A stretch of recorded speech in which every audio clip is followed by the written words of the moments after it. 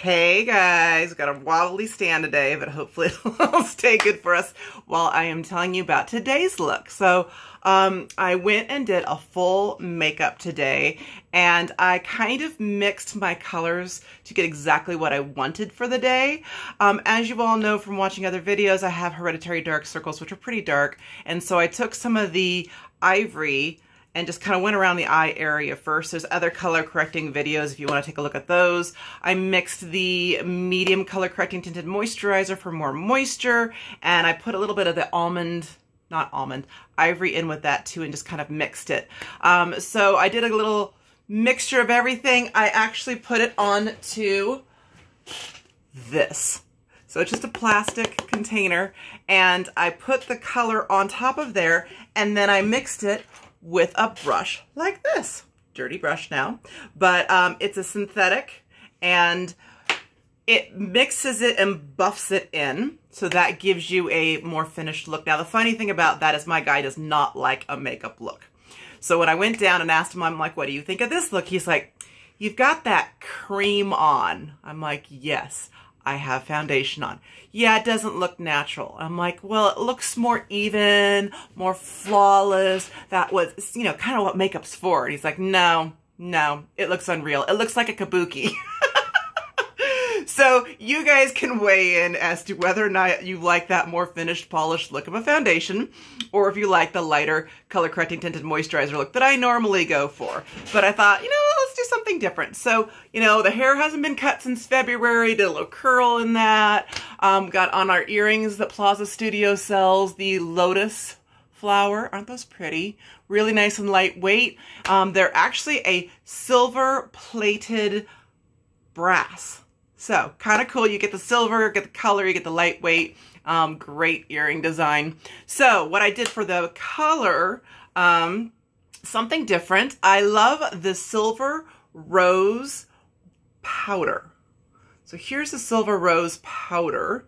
This happens to be my personal one, so it's a little bit worse for wear. But um, it comes with the brush, and I just did it as a highlight in here. So you get the shimmering of the shimmer, uh, shimmer, Silver Rose. God, you know, you guys must know from watching these videos, the brain does not go to the mouth to verbalize out what I'm thinking.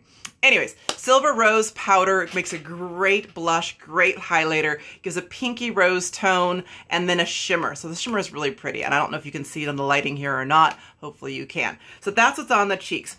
I lined the eyes with the black pencil. So that is lined on the rim and above inside rim. And then I went back in with the Onyx Shadow Sense because that all of these can be used on the inner rim of the eye. I also did the Onyx as the liquid liner look on the eyes too. So there you go with that. Now, for colors on the eyes, I actually have four different colors on. So four different colors. Here we are. We've got Sandstone Pearl, Shell, Mocha Java in the matte. It also comes in a shimmer, and Garnet. So these are the colors I have on the eyes today. They are beautiful, basic colors. Um, they are all permanent except for the shell. Shell's been around for a little while and it is such a great basic. I love this color.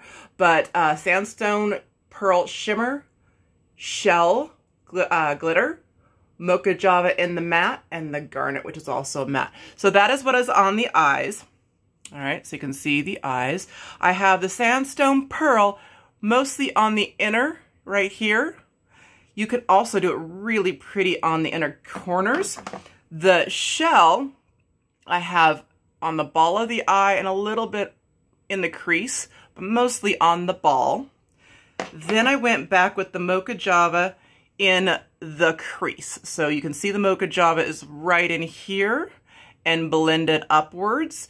Um, as you notice with my eyes, trying to look straight at where you can see, so I'm straight on, um, I have more of a hooded eye area and I have a higher lid area that I can really work with. So I really want to create that contour in here to push it back. And I really want to create the light on the lid to push it forward. Because if you see any of my videos with no makeup on, you're going to see that the lid just gets completely lost on me. So the light pushes forward, put back dark pushes back. Um, so I go for a little bit darker in the crease to create that contrasting and that shadow play of light and forward. The medium tones are great for highlighting and contouring to create that shadowing here. But I do need the depth in the crease to create that more of a pop and contrasting in colors.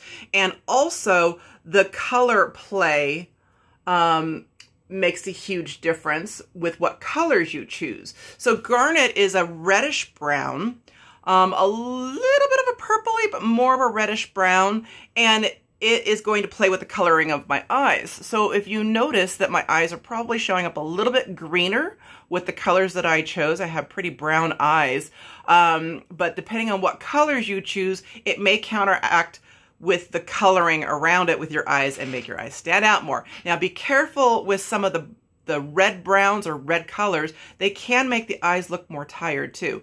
Blues will make the white of the eyes look whiter, which makes you look more alive and awake too. So those are little things to think about and things we talk about more in the Plaza Studio Health and Beauty group, um, as well as in some of the other videos. But color play is important when you're talking about makeup as well. So lights and darks, push forward and back. Colors are gonna play with what's gonna be brought out in your eyes, in your skin tone and on the lips. So when I a little smokier on the eyes, and when I go a little smokier on the eyes, I tend to go a little bit lighter on the lips. So you do you, whatever that is, be your own kind of beautiful. That is our philosophy. But I typically try to balance things out a little bit. If I go for a smokier eye, I go on a softer lip. If I go with a bolder lip, I tend to go with a classic eye or a softer eye. So those are just some things to think about. This is the pink champagne. Isn't pink champagne just so pretty? It's typically a little bit lighter than what I tend to go with personally. Um, but people compliment me when I'm wearing the lighter pink champagne by itself. Now, I do prefer a more defined lip. And the beautiful thing about LipSense is you don't necessarily need a lip liner but I will tell you that you can use your LipSense, lip sense as a liner. So sometimes I'll go in with a little bit of a deeper color around the lip line and mix it, or a lighter color on the ball of the lip to give you more of a pout. So those are little tips and tricks of things you can do with colors to create a fuller lip or to give more definition to a lip. And the beautiful thing is you can wear those dark, bold colors without it bleeding because as you know, LipSense stays put. It does not transfer. It does not come off. It has serious wow factor, right? Serious wow factor. My poor guy was so tired of hearing about, oh, my lipstick is still on, and I had like corn on the cob, and I had nachos, and I had pizza, and my lipstick is still on. And so I will, of course, have to kiss him and be like, look, there's no lipstick on you. So he liked that concept, but he didn't like me talking about it all the time. But it is a wow factor.